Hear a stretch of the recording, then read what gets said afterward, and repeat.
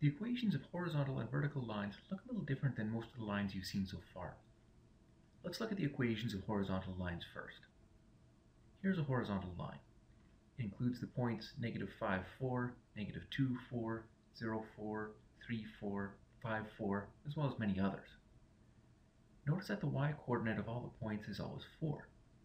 The other points on this line will also have a y-coordinate of 4. The x-coordinate has no effect on the y-coordinate, so the equation of a horizontal line can be written using just y. The equation of this line is y equals 4, because y equals 4 for every x.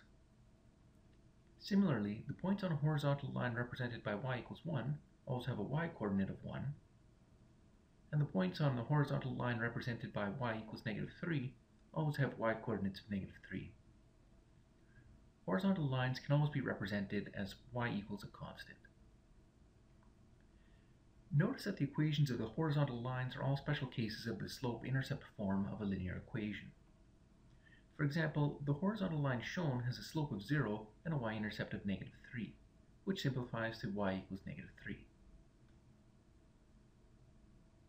Let's take a look at vertical lines.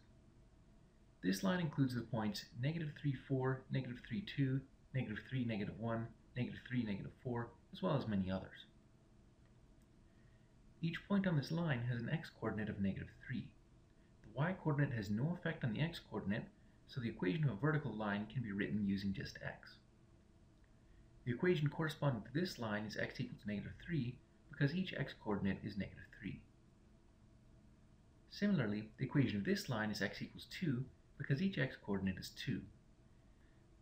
Any vertical line can be represented by x equals a constant. The slope of a vertical line is not defined, so the slope-intercept form cannot be used to represent a vertical